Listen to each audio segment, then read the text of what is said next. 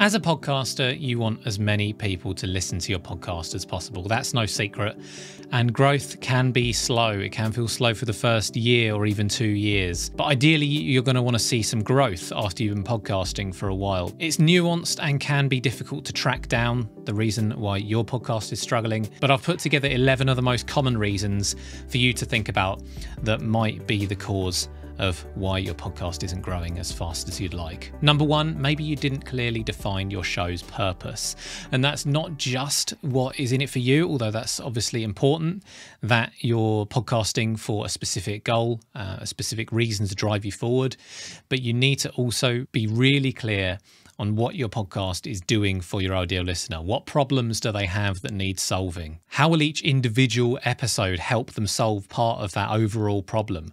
What are the individual aspects uh, of of their situation? Um, what are their attitudes towards the particular topic you're podcasting about? Answers to these questions is going to help you to tailor your podcast, help you make decisions on every episode going forward. You want to be constantly thinking is this right for my ideal listener? Is this going to help them towards their goals? Number two, perhaps you didn't create an actionable strategy. Now, this can be translated into a content calendar, which you're going to follow each week. So, your content strategy is going to be looking at things from a broad perspective, like just what kind of content are you going to be making? What's the format of your podcast? There are going to be some specific elements like what day and what frequency are your podcast episodes going to be posted, a schedule that you can stick to confidently and consistently? And where will you promote this content? So there's no point in promoting on every single social media channel if that isn't where your ideal listener, as we mentioned in the first point, hangs out.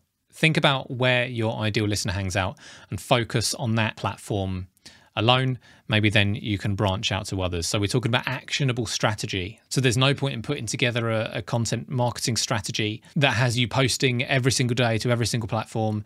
Uh, posting an episode a week, even if you don't have time for that, and so on. It has to be a strategy that's actionable in the long term, is going to keep you consistent and keep you from burning out. One other reason your podcast might not be growing is the branding isn't consistent. A strong brand can help your podcast to stand out within your niche and help people to find you and help people to remember you a lot of people they're not going to be seeing one piece of content and then clicking through and listening to your full podcast episode and subscribing and so on. A lot of people are going to take a lot longer. They're going to see a clip posted by you every week or so. They're going to see your cover art and your logo cropping up online in the podcast directories. And if your branding is consistent i'm talking about the colors the the fonts that you use the tone of voice when you talk about your podcast uh, the music and the musical themes in your intro and outro, if they stay consistent, it's going to help cement that brand in a potential listener's mind and eventually push them to click and then remember your show going forward. Number four is maybe not everyone can find you. So we already talked about social media, making sure that you're posting on the social media where your ideal listener is hanging out, but also is your podcast showing on all the platforms? I mean, I've spoken to podcasters who have been podcasting for months, even years, and I've had a look to give them some advice. And I've had a look at their podcast and I search on Spotify, I find it, I search on iTunes, and it's not there. They've been podcasting for all this time and their podcast isn't even on one of the major platforms. And it's not just the major platforms, we're also talking about YouTube and some of the smaller platforms as well. If you find yourself a good podcast host, they should distribute your audio to all the major platforms. But it does take a little bit of work up front, like signing up to Apple Podcast Connect to make sure that it's going to be distributed everywhere. Take a look at your podcast host, search manually on each of these platforms that your listeners listen on. So Spotify, Apple, Deezer, Amazon, Samsung, all these places, make sure that your podcast is showing up on there. And if not, check your host or sign up to the platforms that require manual sign up. Number five is your episodes could be too long. Now, I'm not going to tell you exactly how long your podcast episodes should be. It depends on your format, depends on how often you're delivering episodes, and it could also be that they're too short as well. But either way, it's something to consider. So if you're putting out hour long interview episodes for busy CEOs every week, and you have a look at your iTunes stats and you realize that people are actually dropping off. A lot of people are dropping off after the first few minutes or the first sort of 25% or so. Maybe it's to do with the length of your episodes. Maybe there's a way you can shorten them with smart, tight editing that's not going to remove any value. It's going to maybe you can cut the five minutes of banter up front and keep your episodes nice and concise while still delivering the same value. But the best way of finding out is by just having conversations, speaking with your fans.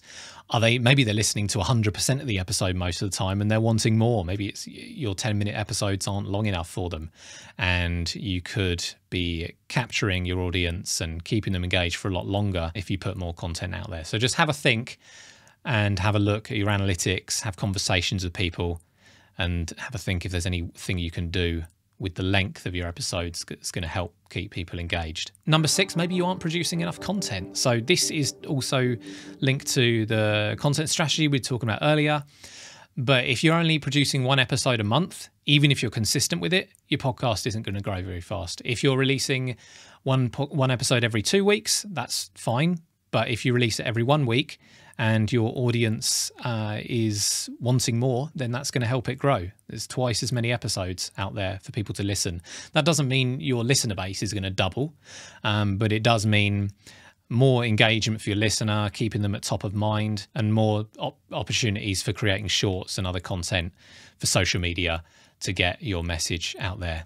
So, if you only have time for one episode a month, then that's all you have time for. But maybe think about if there's a way that you can shorten things or cut the video side of things maybe for a while and focus on doing an episode every two weeks or an episode every week and see if the engagement grows from doing that. Number seven, is your content focused enough? So, again, ideal listener, thinking about what they want, what the problem is they want solving. What is it that you promised them in the title of your episode? Are you actually focused on that in the episode, or are you going off on tangents with your co host? Are you chatting about, you know, is there 10 minutes of bro talk up front before you actually start talking about what your audience wants? And if you're interviewing someone and they start to drift off topic or they go too into detail about something that isn't relevant for your audience, I know it's hard, but it's up to you as an interviewer to hone those skills to try and steer them in the right direction of where the conversation needs to go. Number eight, does your audio sound good enough? Now, this one is close to my heart. One common mistake that podcasters make is to overlook their audio quality. Studies have shown that high quality audio gives your listener a perception that the the content is higher quality and that the speaker is more intelligent. There are too many podcasts out there to settle for average audio. They might as well listen to one that sounds better. Hiring a professional producer is the best way to get the, the most out of each episode, but simply getting the right microphone and setting it up correctly can make a massive difference to your audio quality. Getting a high quality dynamic microphone like an ATR 2100X or a Shure MV7 is going to help get you that studio quality vocal regardless of where you're recording. And it doesn't have to cost you the earth to get a setup that gives you great results. I've got a little ebook you can download for free actually that goes over how to get the most out of your audio. I'll leave a link in the description below, or you can go directly to claricast.com forward slash kickstart. Number nine, the title of your podcast and your episodes might not be enough to get people to take that next step and subscribe or listen to your episodes. So your title, it needs to be clear, it needs to be unique and memorable. So the title of the show that is, it has to be obvious to the listener what your show is about. There's no point in calling your show something that your listener doesn't understand. For example, if you have a podcast hosted by Jay and Kaylee and you call it the Jaylee Show, and it's actually about how to grow a successful online business, then people who don't know who who you are, they're not going to be intrigued. They're not going to click. It has to be obvious what the podcast is about from the title because most people won't even read past the title or the cover art. And then when it comes to your episode titles, they also need to be very clear of what problem that episode is solving for the listener. So it has to be something super specific uh, and intriguing and ideally not give away the answers in the title. Number 10, are you offering anything outside of the podcast? So you've got your call to action in your episode. I hope you're asking people to subscribe on each episode. But when your podcast gets to a certain size, maybe your listeners are going to want more. They're going to want to sign up to your email list and get updates on when your episodes are coming out, or they want some more tailored advice, or they want your advice in a different format, like something they can read in between episodes. Think about how you can add to your community by creating a Facebook group or an email list or something like that, just something outside uh, of your podcast itself that's going to help them to engage with other listeners, create awareness, create conversation, and overall help your podcast to grow and bring people into your ecosystem. And that leads us on to number 11. Are you cultivating relationships with your listeners? So, have you ever spoken to any of your listeners? Have you made a genuine connection? Have you asked them their opinion on the show? Uh, have you tried to offer any expertise in your particular niche to your listeners. There are lots of ways to create these valuable relationships, like replying on social media and offering to guest on other shows, which can put you in front of someone else's audience. If you don't have an existing audience, it can be difficult to grow. But if you form relationships with other people in your niche, then more people will start to know, like, and trust you. And there we have it. I hope you've found some of these helpful. Maybe you've picked out two or three that you feel like you could focus on to help grow your audience. Let me know in the comments section below which one are you going to be focusing on next? What's the next step for your podcasting journey? And hit subscribe for more podcast tips and tutorials. And as always, thank you so much for watching, and I'll see you next time.